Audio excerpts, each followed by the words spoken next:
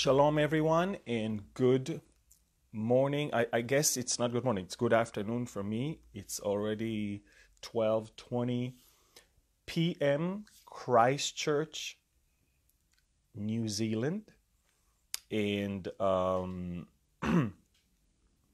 behind me is the beautiful park that is right next to the uh, the central business district of the city there's a little river. I don't know if you can see a small little creek actually that is running along that park, and I'm in a nice place. Um, I will be I will be picked up um, in about a couple hours, and uh, they'll show me a little bit around, and then I'm going to be speaking tonight at Calvary Chapel of Christchurch.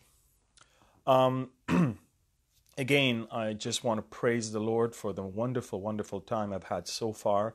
The saints in Japan and now the saints in Perth, Australia. It was so amazing, mind blowing. Um, for me, it was a humbling experience to see people uh, coming from all over uh, the country to listen. The churches were packed, there was no room to sit, people were standing. And it, it was because people are hungry. One of the pastors told me, Amir, it's not true that the church is dying, but the church is starving. He says, uh, that's, that's the thing. You know, we have people coming to faith all around the world. It's, in, it's the fastest uh, growing, uh, um, in a way, faith um, in the Western world. It's just that the problem is not growth. People come to Christ, but they're not being fed right. And so and they were so happy to get an understanding not only on, on what is going on in the Middle East, but also in the uh, in the doctrine of what is it that Israel means uh, in the Word of God, and why is it to the Jew first? Uh, we had a whole message on that alone, um, and then we talked also about the temple. And I know some of you ask for that message. We uploaded it on YouTube, the next temple. The problem was that, and we already had like 20,000 people watching it, but the main complaint was the volume was too low. So we removed it, we fixed it, and we uploaded it again. So if you want to hear it in a, in a better volume, just go to YouTube to our my recent message, The Next Temple, where I'm basically explaining everything from the Garden of Eden, from where God was walking in the garden, dwelling among his people, all the way to the tabernacle in the wilderness and the first temple and the second temple and the third temple. We even talked about the fourth temple.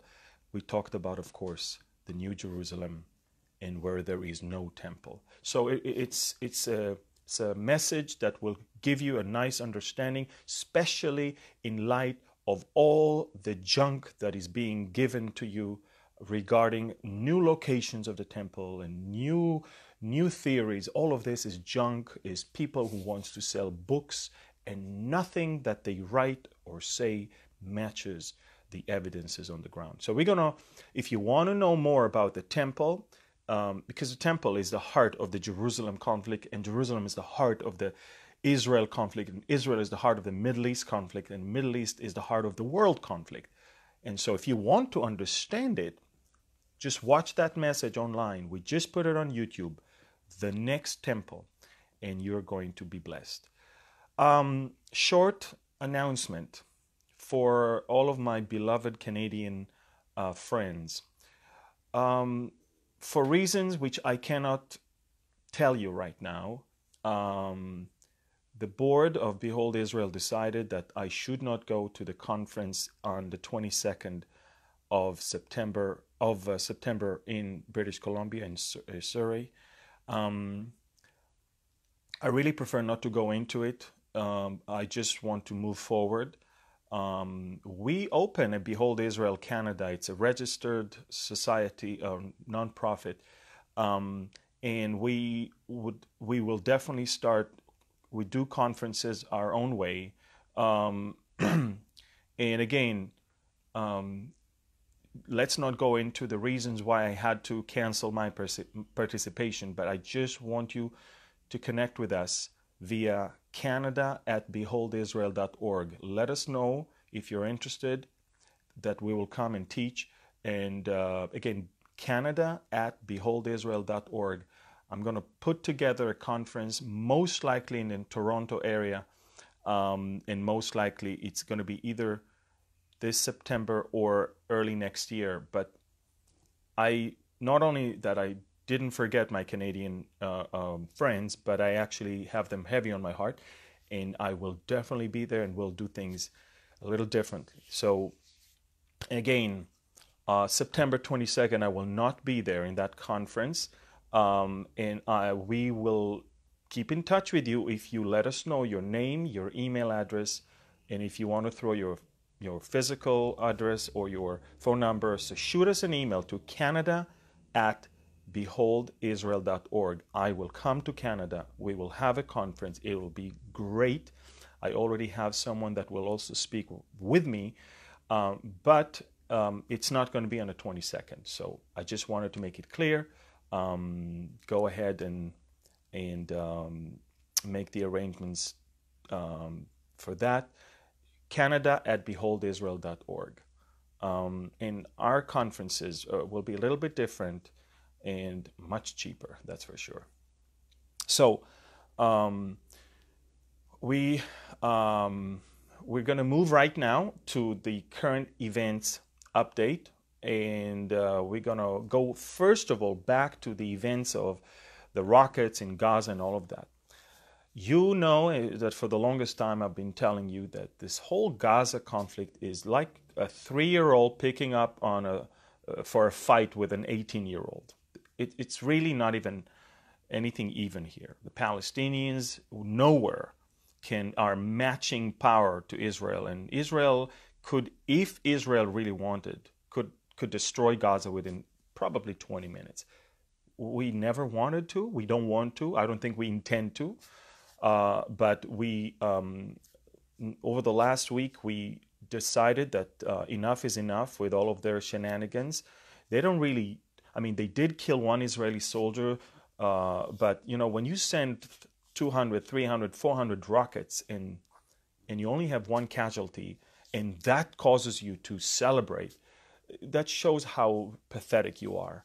Um, Israel decided to destroy 60 targets.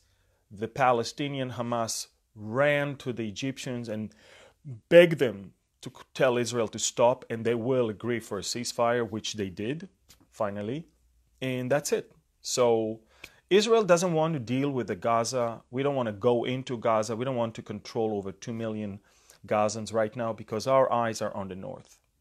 And, that's where I'm going right now. We still uh, can see uh, attempts of the Iranians to entrench themselves in Syria. The Hezbollah is doing that, and militias that the Iranian general Soleimani gathered from Pakistan and from Afghanistan and from Iraq. These are foreign soldiers, Shiite soldiers. They're like meat for the Iranians to sacrifice for their thing. Um, so um, what happened is that we we've noticed that they have more and more and more. So Israel attacked at least twice over the last week. Um, we have destroyed several targets. In fact, the targets we destroyed, I'm not allowed to talk about. So I'm not even going to tell you what is it that we destroyed. Um, yesterday there were some red alerts. Um, some um, Israel uh, noticed uh, rockets flying um, too close to us. Apparently, it was the fighting of Assad versus the rebels on the Golan. And uh, for the first time, Israel used our newest defense system called David's Sling. I love that we've got uh, biblical names to all of our defense systems. We've got our, our, our tanks, our chariots, our rockets, our arrows, and uh, the defense system now is uh, David's Sling. And um, we shot two rockets from this new thing in order to pull down Syrian rockets that, by the way, never really fell on our territory but fell in their territory. But we needed to make sure they will not fly towards us.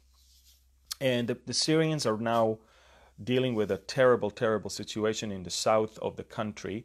Um, and uh, now listen to listen to this.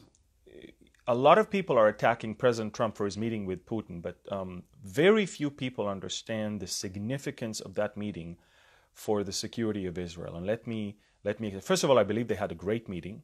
I believe that unlike other presidents in the past, he didn't give the Russians anything.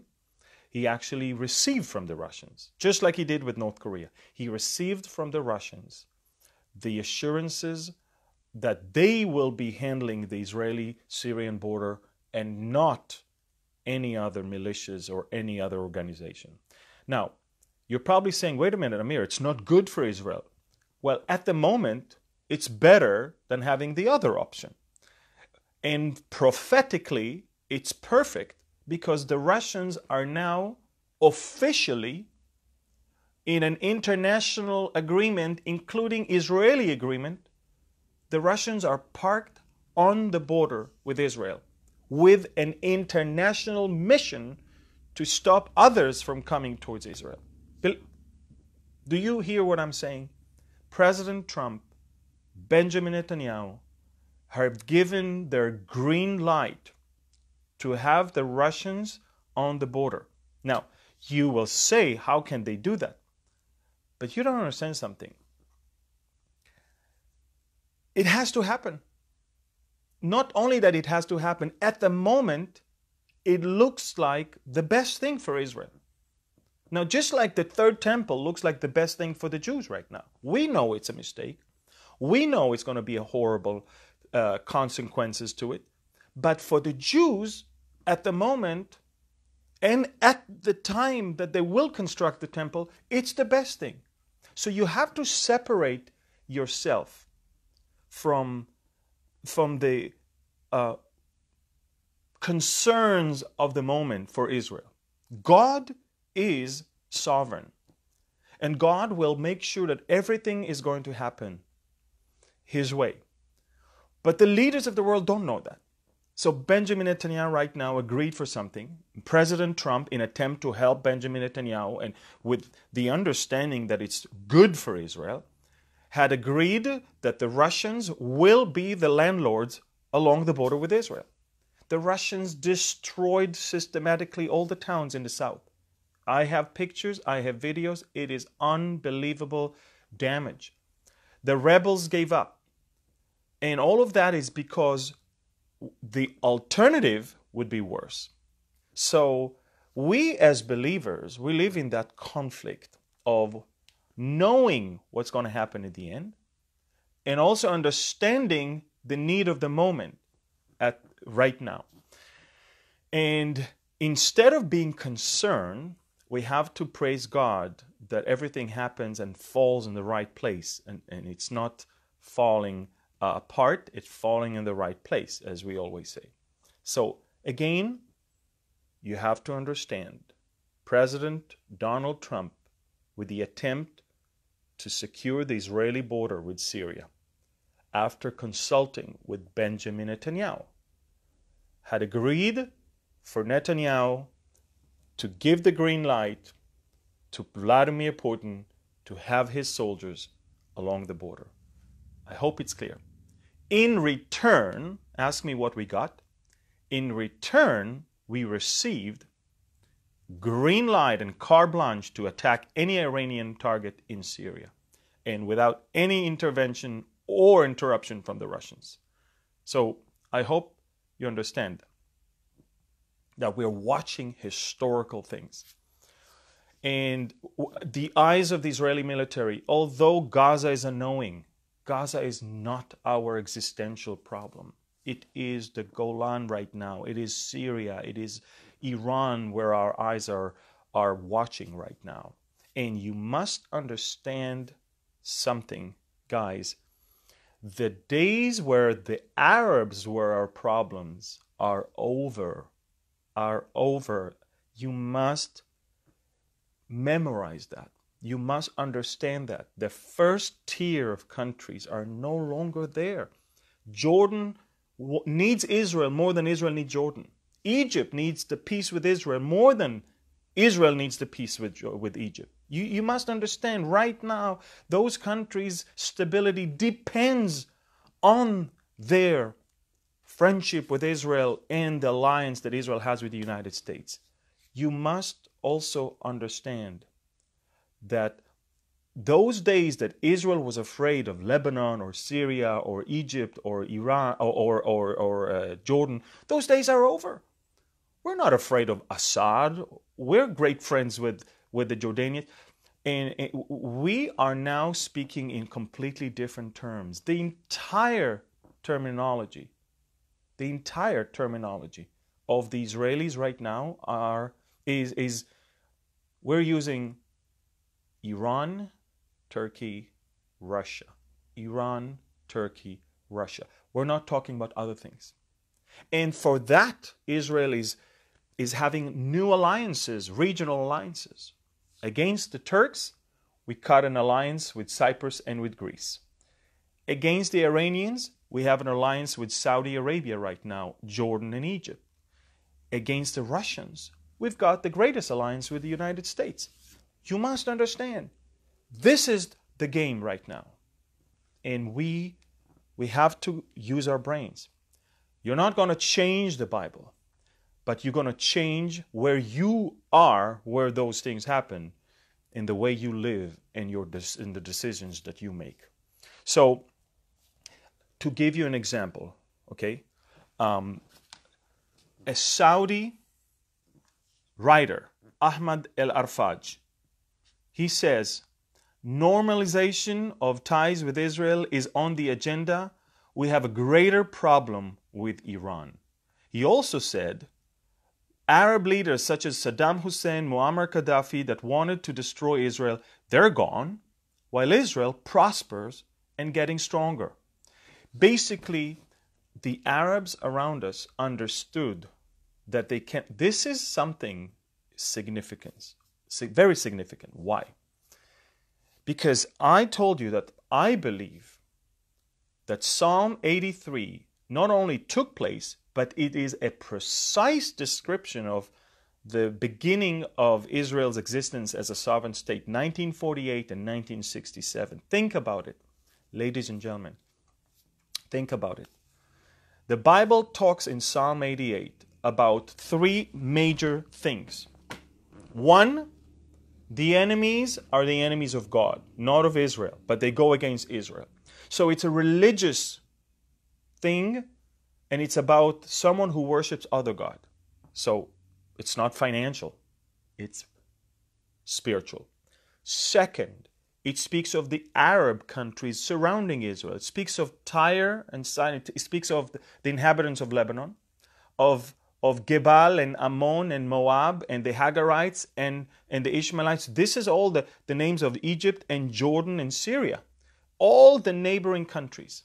And the Bible says that they are going to come and destroy Israel, that the name of Israel will be remembered no more. It means that suddenly the name of Israel came back and they want to destroy it. When was it that Israel was pronounced Israel back as a state called Israel? 1948. When was it? By the way, the Bible says Assyria even came to help them, which is Iraq of today. 1948. Believe it or not, Iraq through Jordan, Kaukaji, the general Kaukaji, they invaded also. They were part of the attacking coalition against Israel. Iraq, Jordan, Egypt, Lebanon, Syria, all of those, exactly as that psalm says. And the Bible says that they will be put to shame.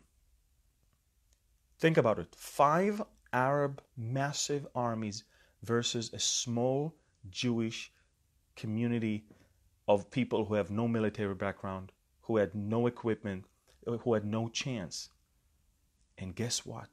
They lost and they were ashamed.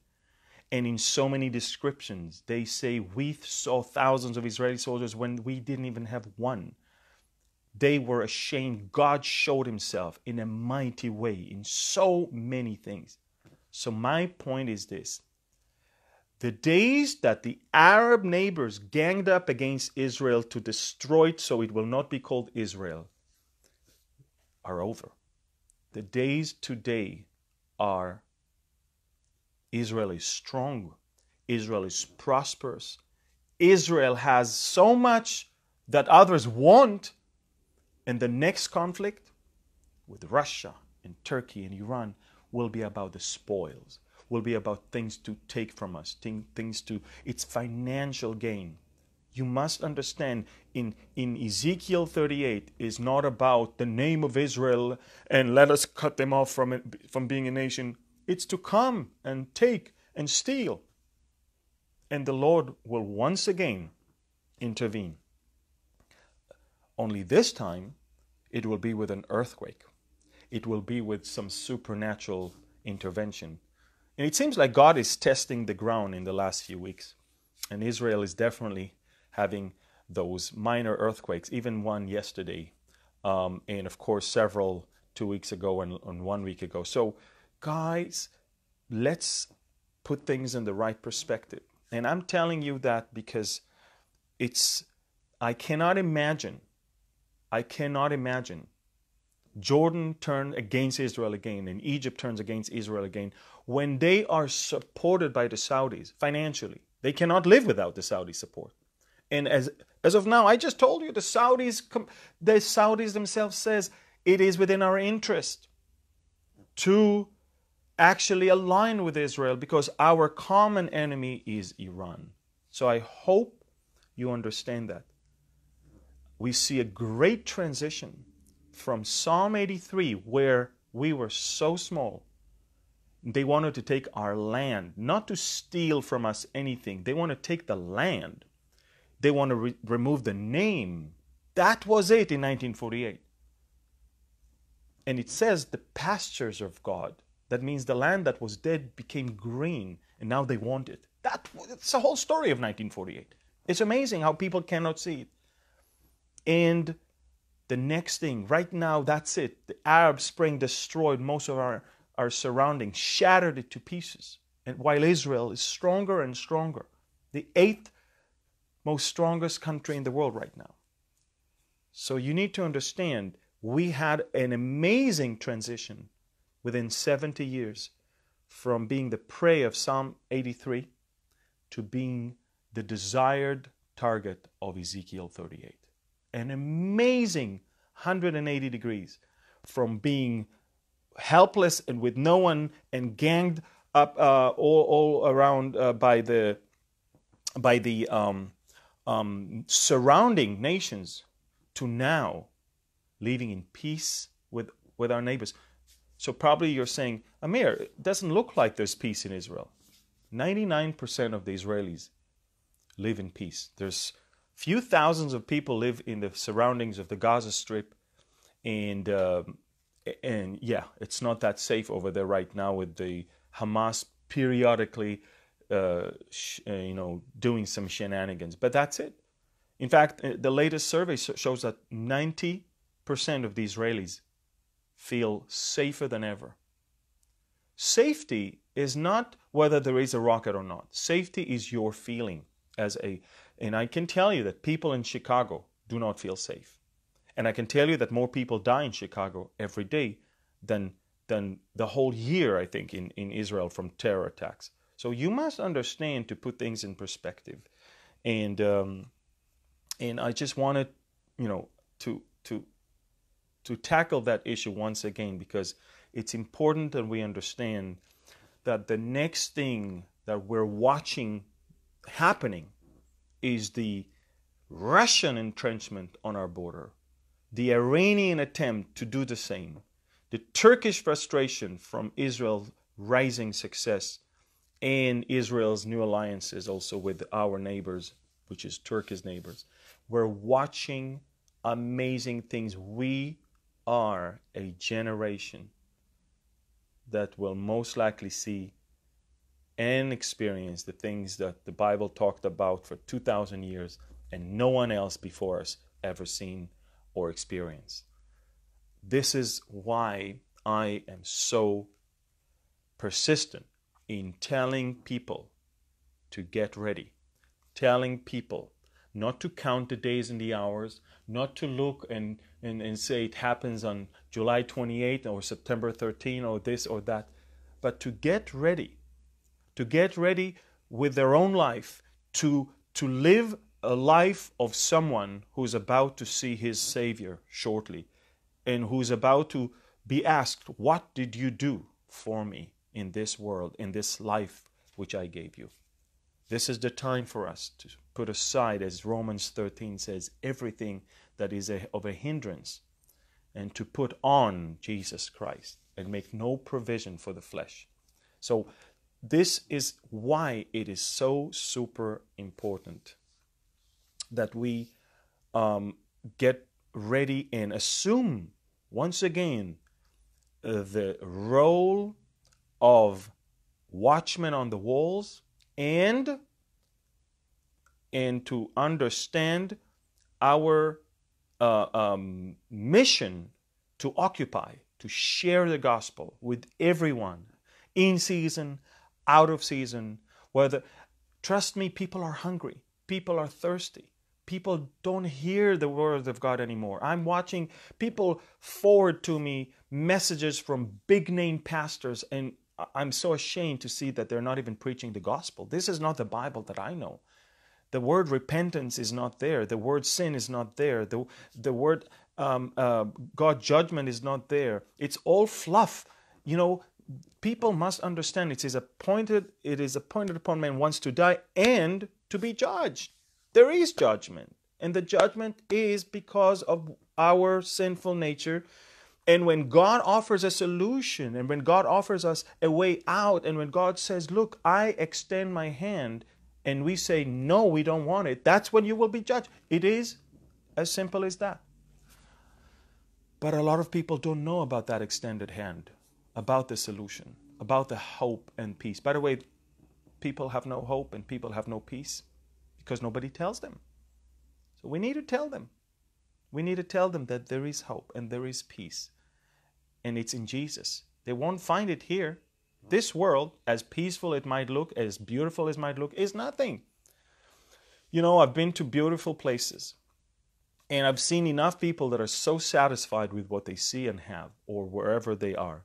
Now, I'll tell you something. The Bible says, nor no eye had seen and no ear has heard, and it didn't come to the to anyone's heart even that which God has prepared for us. There is the most beautiful place in this world cannot even compare to what God has for us. The most amazing peace that you may find here does not compare to that which God has for us. Now, a lot of you are very, very tired. Some of you are even sad. But you must understand it is the joy of the Lord that is our strength. Within ourselves, maybe we cannot find the joy, but, but we need to, that's when we need to go back to the scriptures. And in the scriptures, we can see God's word and God's hope and God's peace.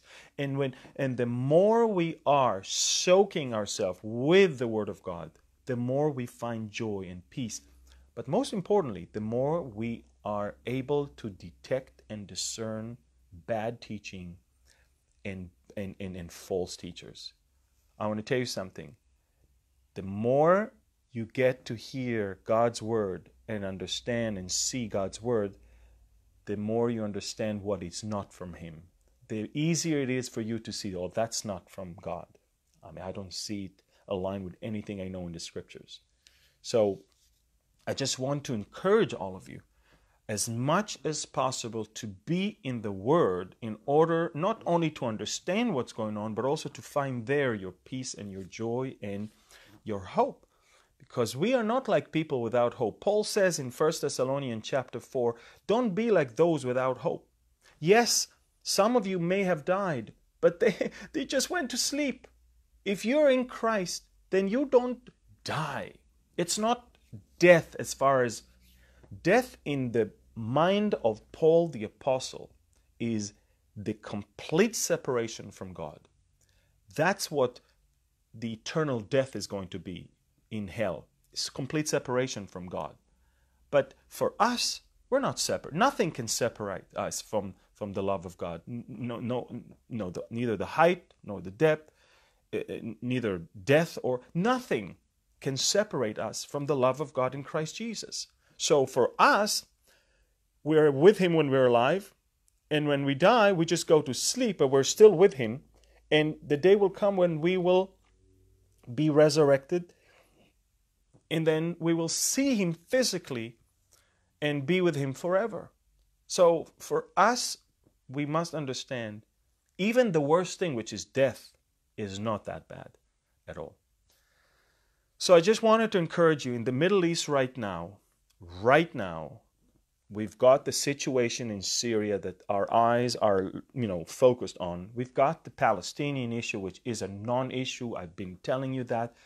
Every time you guys are so scared, red alert, red alert. Some of you are like, you know, I think you got you're more scared than the Israelis themselves. Red alert is is is an app where you can see that Israelis are alerted that rockets are flying, or at least we detect something. Um, guys, it's nothing. It's trust me when you see red alerts coming from the north. From the north, the evil shall come. If you see that coming from the north, that's when you have to worry.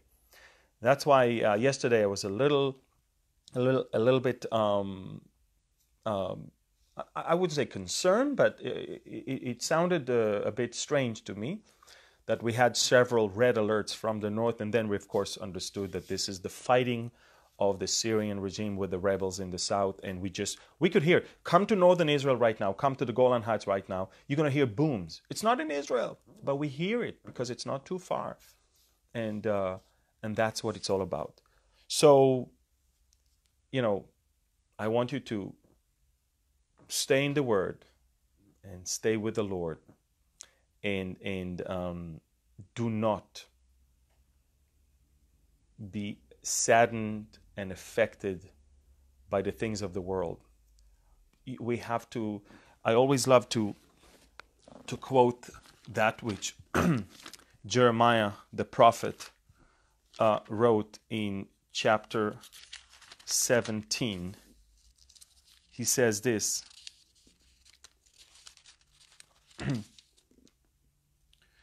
Uh, Blessed is the man, verse 7, who trusts in the Lord and whose trust is in the Lord. He says, For he will be like a tree planted by the water, that extends its roots by a stream, and will not fear when the heat comes, but its leaves will be green. And it will not be anxious in a year of drought, nor cease to yield fruit.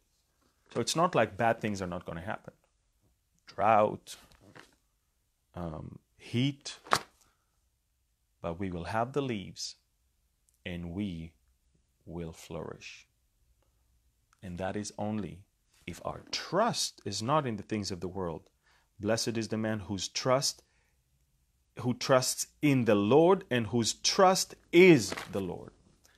Look, as much as it seems like I'm a great supporter of Donald Trump or Benjamin Netanyahu. My trust is not in them. You got it all wrong if you think that way. My trust is in the Lord. And the moment will come. Obviously, if Israel is going to have such a great attack, that means that neither one of the leaders will be able to stop it. And then what? Are we going to accuse them? No. It's going to happen. And I'm not banking on Donald Trump to stop the Russians from attacking Israel. They will. And I'm not banking on Benjamin Netanyahu to stop the attack on Israel because they will. My trust is not in politicians. But when I see that they are God sent for the time, for this reason, for a reason, for a season, then I'm not attacking them. I am supporting them. But the day will come. The day will come and they will make mistakes and Israel will be attacked. But the Lord will be there. That's why my trust is in the Lord. Blessed is the man who's, who trusts in the Lord and whose trust is the Lord.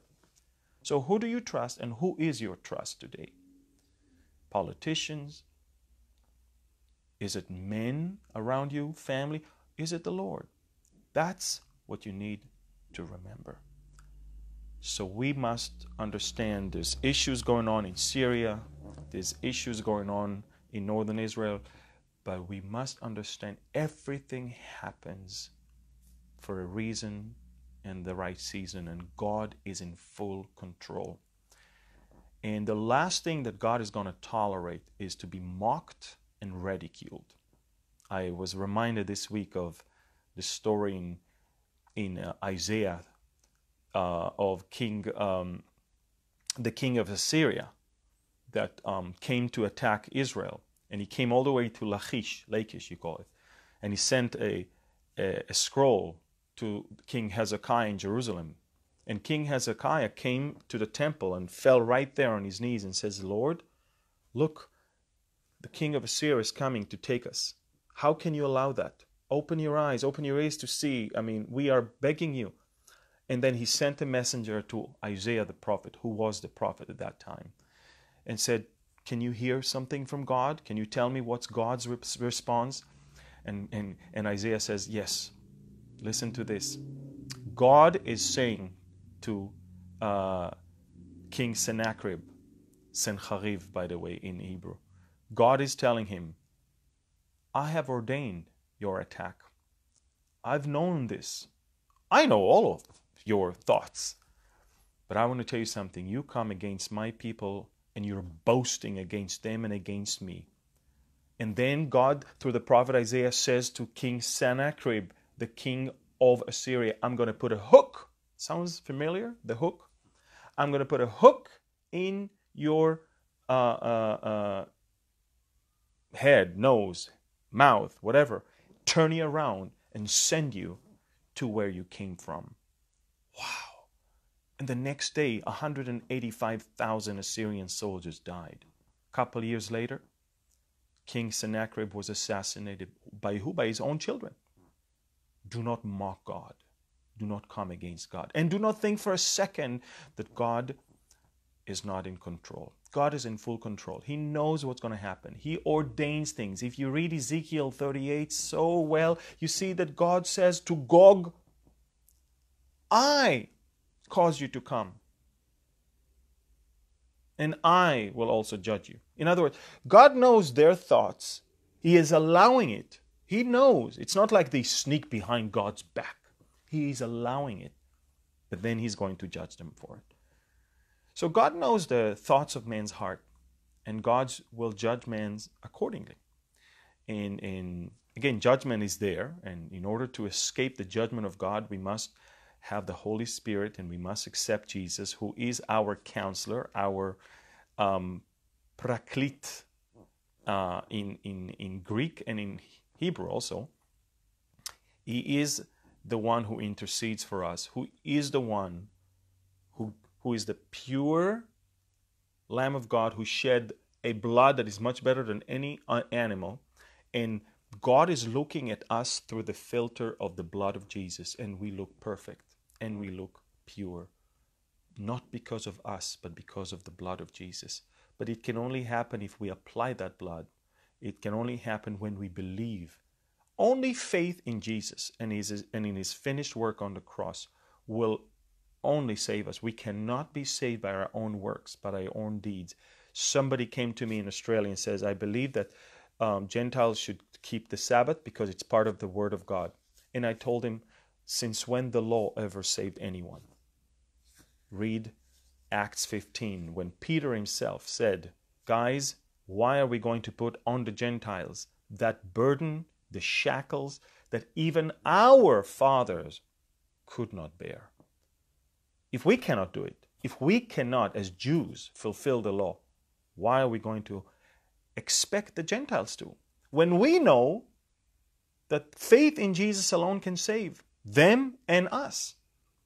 So we have to we have to remember that.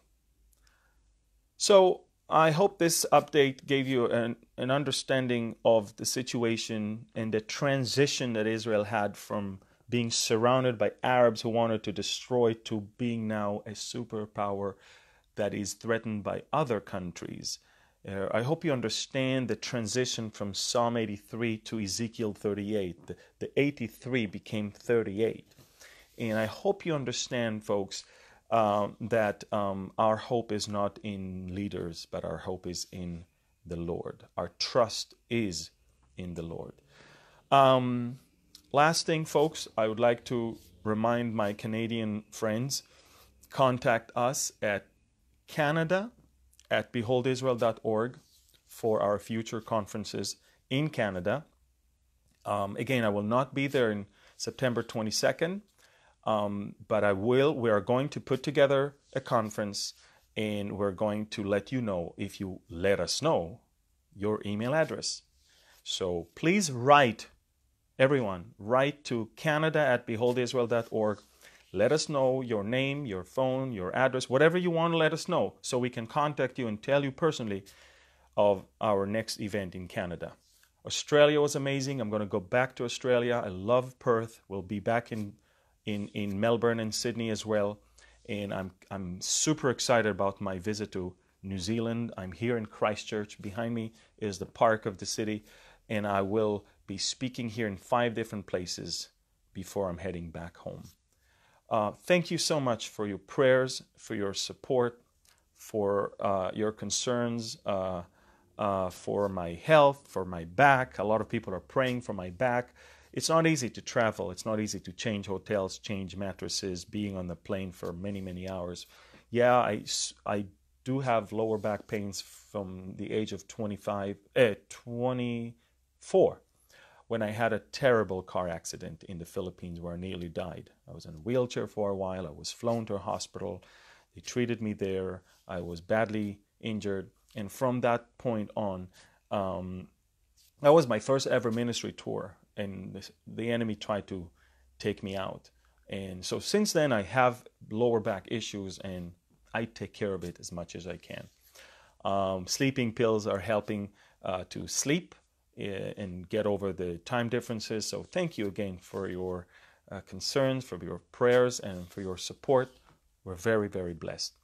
Um, let's end up this update. Again, we remind you to um, follow us on Instagram, Behold Israel, Facebook, Behold Israel, YouTube, Behold Israel, and also Twitter, Behold Israel. Let me finish this update with the Aaronic blessing upon all of you. יברכך אדוני וישמרך. יאר אדוני פניו אליך ויחונקה. יישא אדוני פניו אליך, וישם לך shalom. May the Lord bless you and keep you.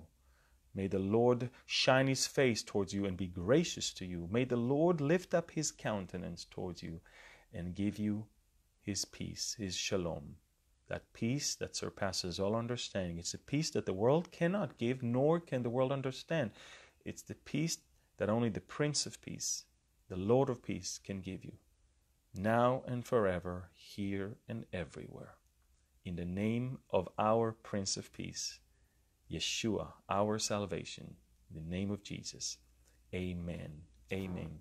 Thank you. I love you. God bless you. I remind the Canadians, guys, write to Canada at beholdisrael.org. We're going to start a Behold Israel in Australia as well. We want to make sure to come and and feed the saints here as well. And um, I'm very excited about New Zealand right now, and the Lord is opening doors. And uh, last night it was a bit awkward. I was held in the immigration for an hour. Um, it was my first time to enter. They didn't know who I am, how to take me, this whole thing. I mean, who is it? The Bible teacher shows up. They took my fingerprints, they took my picture. They went through my wallet, my itinerary. I mean, I don't know, but here I am. I'm in. I'm actually, I was given a tourist visa for three months, which I don't need. I only need eight days, and uh, I'm okay. So the enemy tried to hinder me from coming, but I'm here. So thank you. I love you. God bless you. And shalom from Christchurch, New Zealand. Bye bye.